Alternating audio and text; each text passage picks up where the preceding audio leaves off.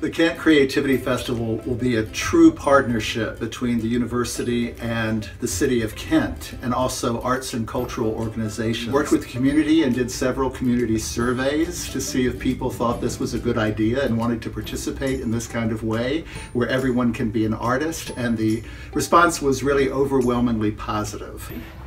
Well, I am really excited about this Kent Creativity Festival because I think that it is a great opportunity for the town and the gown to come together and to encourage ourselves to tell our own story. I think it's ideal to have Main Street Kent and our city and our university all working together to create a, uh, a special day where lots of different talents can come to one place to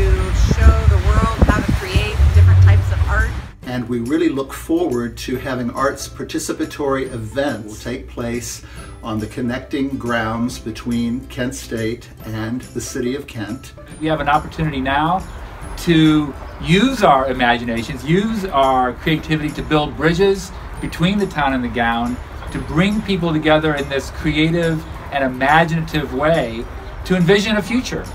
Uh, a future that sees us as one community uh, with wonderful diversity and a wonderful range of voices and, and lifestyles but a community that has a shared vision.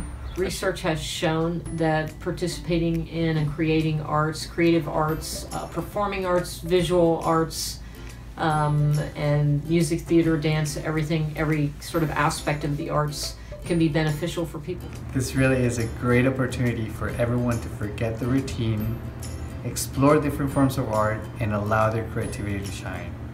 This is really a way to meld our different parts of the community together into a family. We really hope that you will consider this very worthwhile project.